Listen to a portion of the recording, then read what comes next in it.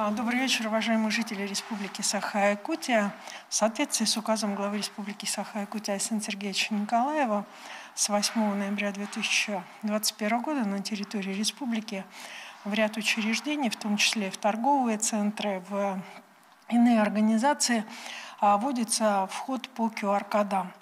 QR-коды подтверждаются на основании имеющихся данных в системе госуслуги – в настоящее время, 8 ноября, была утвержден Минздравом Российской Федерации новая форма сертификата о вакцинации и переболевшим граждан. На настоящий момент в новой форме сертификата содержится непосредственно единая форма, и несколько видов сертификатов отсутствуют, как были ранее.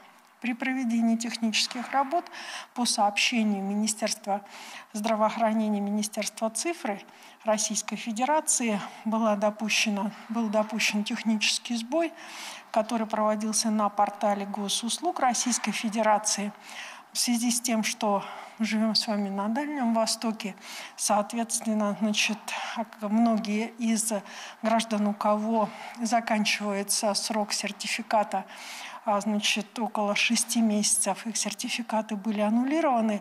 На настоящий момент сбой, сбой был устранен, и, соответственно, значит, непосредственно все сроки сертификатов, которые есть, они восстановлены и действуют. Ну, безусловно, это технический сбой, который произошел.